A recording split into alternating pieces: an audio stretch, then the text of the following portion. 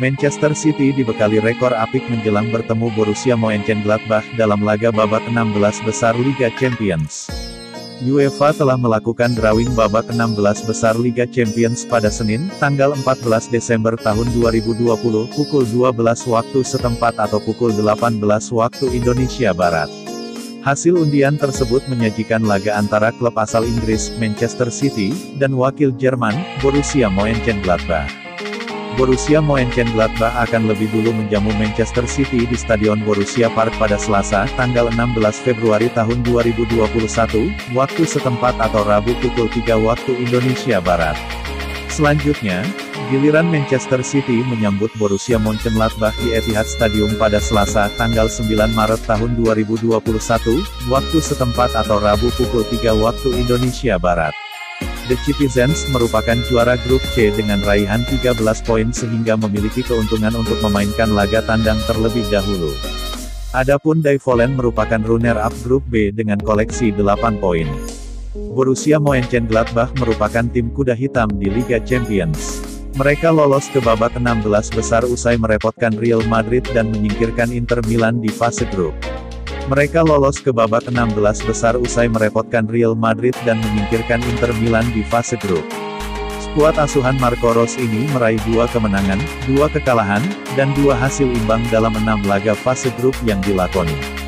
Sementara itu, Man City merupakan tim yang tak tersentuh kekalahan pada fase grup dengan lima kemenangan dan satu hasil imbang.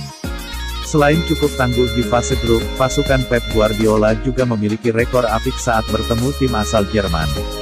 Seperti dikutip bolasport.com dari Optayo, Man City telah memenangi 8 dari 9 pertandingan Liga Champions terakhir mereka melawan tim asal Jerman.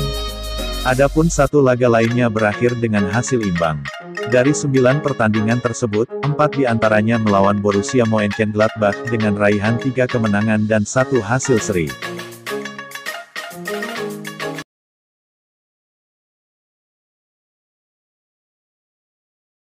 Penantian Lazio untuk kembali mencicipi babak 16 besar Liga Champions setelah 20 tahun sudah terwujud pada pekan ini. Namun, Bianco Celesti langsung menghadapi tantangan super berat. Hasil undian babak 16 besar Liga Champions yang digelar Senin, tanggal 14 Desember tahun 2020, menempatkan Lazio di posisi sulit. Mereka akan menantang juara bertahan, Bayern Munchen. Bayern Munchen tampil sangat menakutkan pada musim lalu, termasuk membantai Barcelona 8-2 di perempat final. Pada partai final, Bayern berhasil membungkam ambisi PSG, yang juga bertabur bintang. Tak heran, Bayern kembali difavoritkan jadi kandidat juara Liga Champions musim ini. Kali ini, lawan mereka sudah lama sekali tidak menjejakkan kaki di 16 besar Liga Champions. Duel ini akan menjadi pertemuan pertama kedua tim di kompetisi Eropa.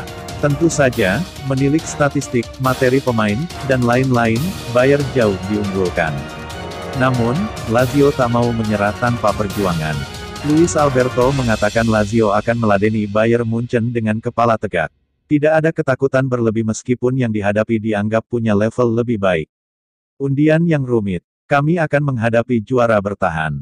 Tapi, kami tak takut dan selalu dengan kepala tegak, ujar Alberto melalui cuitan di Twitternya, seperti dilansir Football Italia. Seperti diketahui, Lazio kali terakhir mencicipi babak 16 besar pada 20 tahun lalu. Saat itu, tim Elang Biru akhirnya bisa melenggang hingga perempat final. Namun, langkah mereka akhirnya tumbang di perempat final saat meladeni Valencia. Pelatih Lazio, Simone Inzaghi, turut menjadi bagian dari skuad yang berkibar di masa itu, dengan posisi sebagai striker.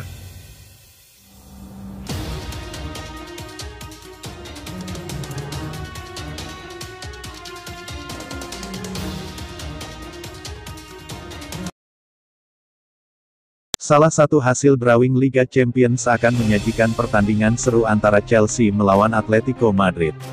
Kedua tim itu memiliki rekor pertemuan yang imbang. Chelsea akan menghadapi lawan tangguh di babak 16 besar Liga Champions, Atletico Madrid. Chelsea merupakan juara grup E, sementara Atletico adalah runner-up grup A. Leg pertama akan berlangsung di markas Atletico Madrid, Wanda Metropolitano, pada tanggal 17 Februari tahun 2021. Adapun pertemuan keduanya terjadi di Stamford Bridge pada tanggal 10 Maret mendatang. Dikutip bolasport.com dari Optayo, Chelsea dan Atletico sudah pernah bertemu sebanyak tujuh kali. Kedua tim sama-sama meraih kemenangan dua kali, sedangkan sisanya berakhir dengan tiga kali imbang. Laga paling seru yang mempertemukan Chelsea dan Atletico terjadi pada Piala Super Eropa 2012. The Blues yang saat itu berstatus juara Liga Champions ditantang Atletico sebagai kampiun Liga Eropa. Di luar dugaan, Chelsea kalah telak dari Los Rojiblancos dengan skor 1-4.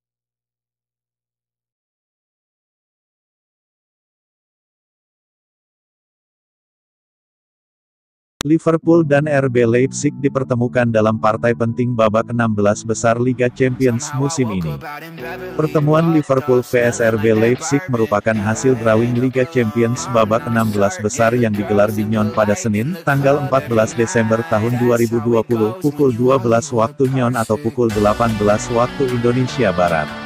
Liverpool baru akan bertemu RB Leipzig untuk kali pertama di babak 16 besar Liga Champions musim ini. Meski ini merupakan pertemuan pertama, bagi Liverpool bisa menjadi tantangan karena The Reds telah mencatatkan hasil positif sepanjang melawan tim Jerman.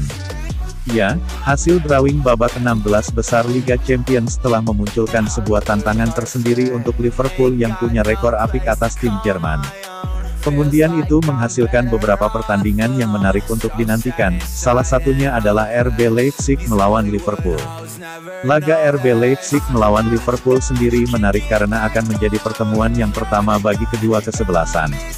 Tak hanya itu, duel tersebut juga menjadi menarik karena akan menantang Liverpool untuk menjaga rekor apik mereka atas tim Jerman di kompetisi tingkat Eropa. Seperti dilansir bolasport.com dari Opta, dalam 10 pertandingan terakhir melawan wakil dari Jerman di level Eropa, Liverpool tidak pernah kalah. Adapun rincian dari rekor pertemuan Liverpool dengan wakil Jerman adalah menang 7 kali dan imbang 3 kali. Sementara itu, terakhir kali Liverpool merasakan kekalahan dari tim Jerman terjadi pada Liga Champions musim tahun 2001 sampai tahun 2002. Kekalahan dengan skor 2-4 itu diderita Liverpool kala bertandang ke markas Bayer Leverkusen dalam laga leg kedua babak perempat final. Dengan demikian, patut dinantikan apakah Liverpool bisa menjaga rekor pertemuan mereka dengan tim Jerman atau malah Leipzig akan mencoreng catatan apik tim besutan Jurgen Klopp itu. Duel RB Leipzig melawan Liverpool di babak 16 besar Liga Champions tahun 2020 sampai tahun 2021 akan dimainkan dalam dua leg.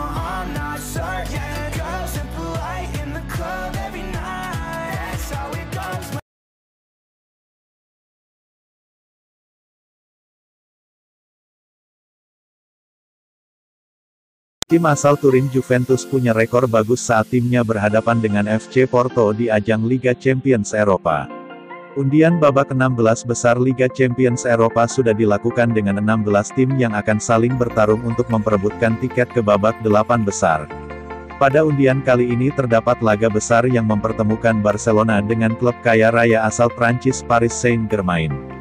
Meski begitu pertandingan-pertandingan lainnya juga patut untuk menjadi perhatian para pecinta sepak bola. Salah satu wakil Italia di Liga Champions kali ini, yakni Juventus mendapatkan undian untuk berhadapan dengan wakil Portugal FC Porto.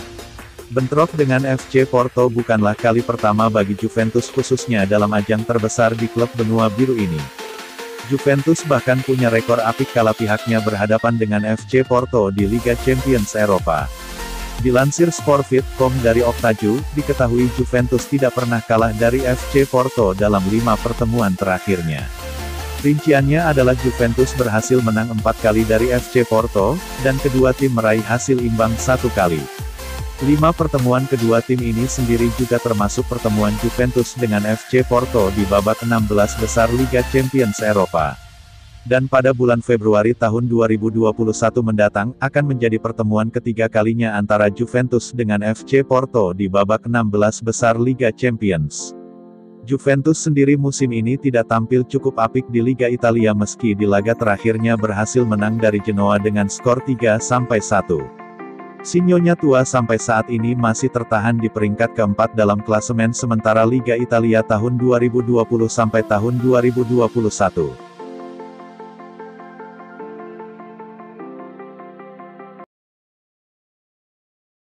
Barcelona vs Paris Saint-Germain PSG, jadi sorotan usai undian babak 16 besar Liga Champions 2020 per 2021 di markas UEFA, Senin, tanggal 14 Desember tahun 2020. Kedua klub terlibat rivalitas tidak hanya di dalam melainkan luar lapangan. Konflik utama tercipta pada musim panas 2017. Barcelona tidak menduga PSG bagai menebus klausul transfer Neymar sebesar 222 juta euro dan menjadikannya pemain termahal dunia. Setelah itu hubungan kedua klub memburuk. Masing-masing memasang pagar tinggi jika salah satu mencoba membeli pemain dari mereka. Keberanian PSG membeli Neymar diliputi dua faktor. Sisi komersil dan nilai jual pemain asal Brasil itu mendongkrak popularitas klub. Namun, faktor lain adalah kemampuannya di lapangan. PSG berharap Neymar bisa mempersembahkan gelar Liga Champions. Setelah terpuruk di dua kampanye awal, Neymar membawa tim lolos ke final musim lalu. Sayang mereka dikalahkan Bayern Munchen. Pergerakan PSG juga didasari perlakuan Neymar terhadap mereka. Mantan pemain Santos itu menjadi mimpi buruk Les Parisiens dengan mencetak 7 gol dari 6 penampilan melawan mereka. Dengan membelinya, setidaknya PSG tidak perlu takut lagi bakal sakit hati di Eropa.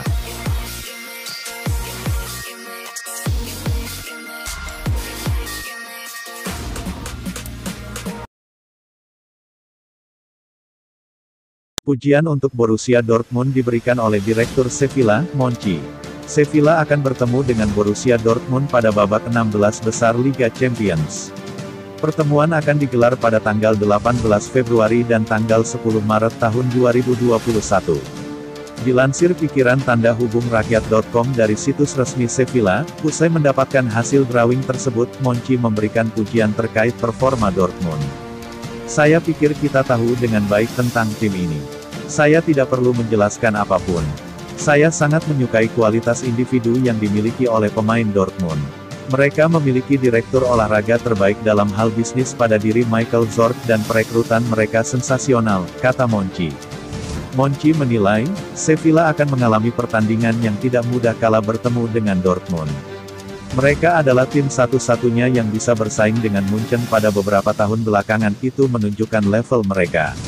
Kami akan mampu menghadapinya tapi itu tidak akan menjadi pertandingan yang mudah, ucap Monchi. Meskipun memberikan pujian kepada Dortmund, Monchi tak menampik jika ia akan senang saat Sevilla bertemu dengan tim lain pada babak 16 besar Liga Champions. Saya cukup senang dengan ada di daftar itu adalah hal utama. Saya juga akan senang jika kami berhadapan tim lain, tutur pria berusia 52 tahun tersebut. Berhadapan dengan Dortmund, ia mengakui bisa memahami apa yang pikirkan tentang pertandingan tersebut. Dortmund menang dan menjadi juara grup. Kami tidak bisa melupakan kualitas yang mereka miliki, ucapnya.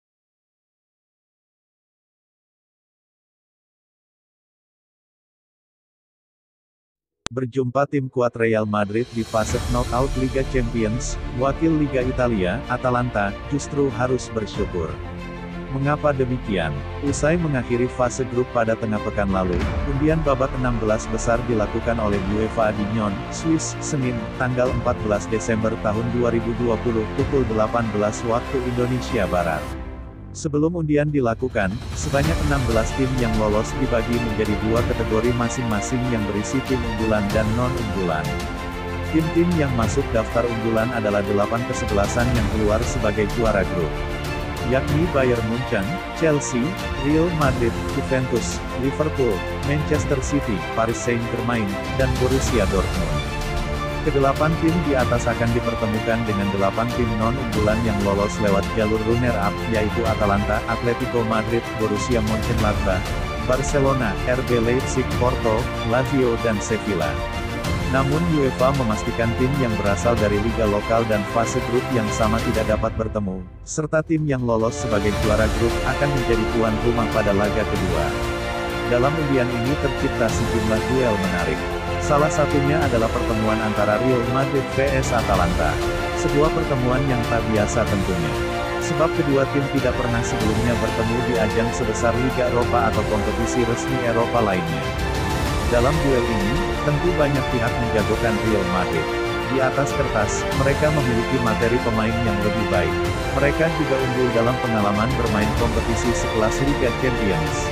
Namun begitu, bukan berarti Atalanta tak mendapat hikmah dari laga ini.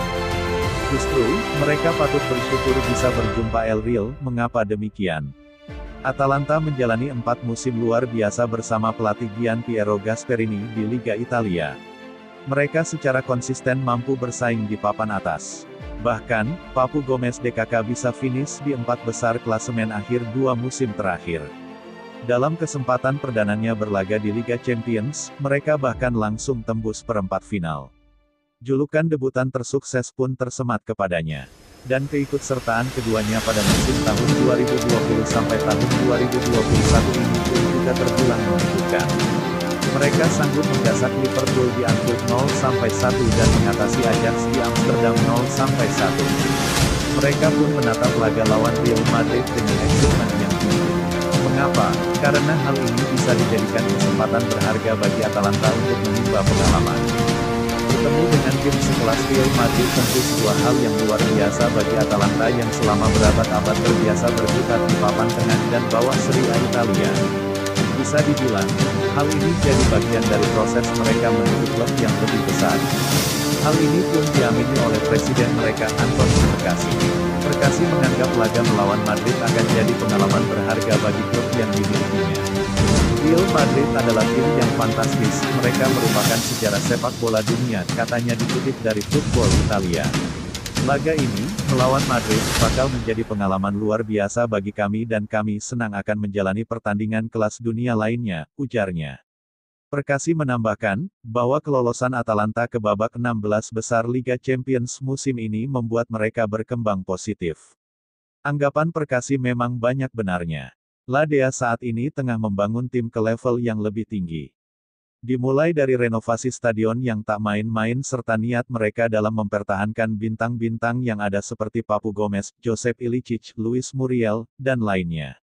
Jika kestabilan ini terus didapat Atalanta, bukan tak mungkin mereka bakal menjadi raksasa baru di Serie A Italia layaknya Leicester City di Liga Inggris.